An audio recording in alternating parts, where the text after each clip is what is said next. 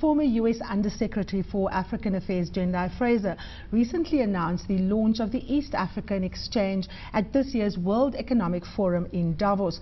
It was the first part of the regional exchange intended to increase transparency in the region's commodity markets through private-led, uh, um, or rather private sector-led investment. She explained its vision to us alongside Kuziva Muganiwa, the strategist for the East Africa Exchange.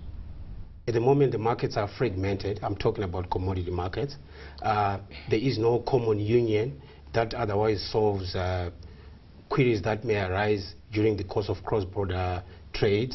Uh, and there's so much, uh, there's a lack of liquidity. Mm -hmm. So this project, we've sought to have to bring it together in order for us to get people uh, run the market on a formalized basis. There are lots of middlemen involved, and therefore the person that suffers at the end of the day is, is your last person. Yeah? The middlemen are making exorbitant uh, markups. So we believe that if the market became formalized to mm -hmm. start with, then it would be a good opportunity for everybody else in the global village to understand that East Africa is the place to be. I think East Africa has um, some dominance on the world map. You are aware that Rwanda, for instance, is amongst the biggest growers of tea and coffee in the world. And recently, the, the country undertook to join a cartel team in order to influence the price of uh, coffee and tea on the global village. So it's a sign of more and more things to come out of East Africa that will have a bigger bearing, not only on the region, but we believe on the globe as a whole. Ambassador, let me bring you in here. Um, you define your company, Africa Exchange Holdings, as a startup. You're starting out, um, you in your, you know, baby steps uh, phase. Um, what is the most important, um, you know, boxes that you need to tick to ensure that what you're offering as an opportunity for investors, both on the African continent and globally, that you have to tick um, in order to get this company going? Well, we, of course, the first thing is capital. Um, and our partners are brought to capital, but we also want not just financial capital, but also intellectual capital.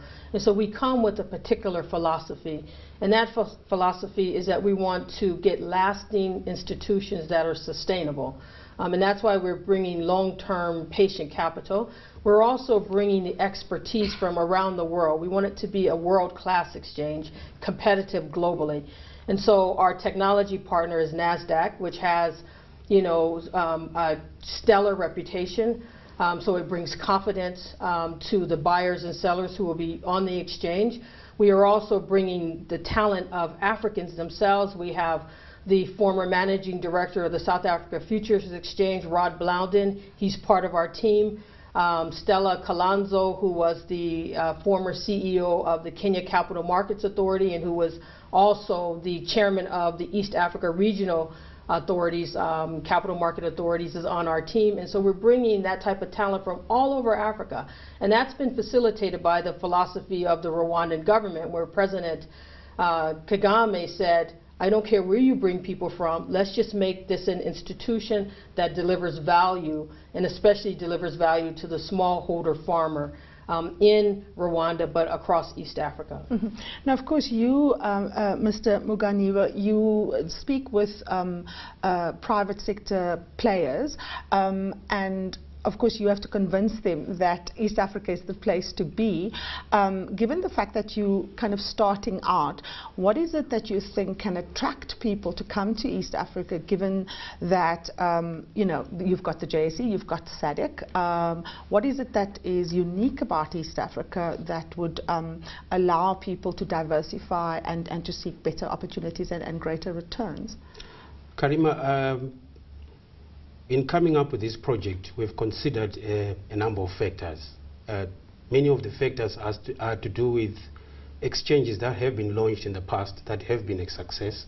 I'm talking here the likes of Shanghai Commodity Exchange. I'm talking the likes of Chicago Board of Trade, um, Hong Kong, and so on and so on. Now, we have learned a great deal on what has led to them being successful in that kind of uh, adventure.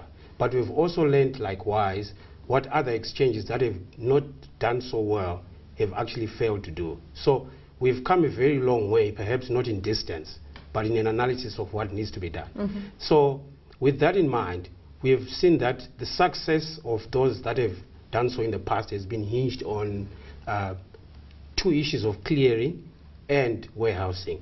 Now we are seeking to go a step better to say, okay, in East Africa, whereas, for instance, the JSE case, more concentration is on white maize, yellow maize, sunflowers, soybeans, and so on.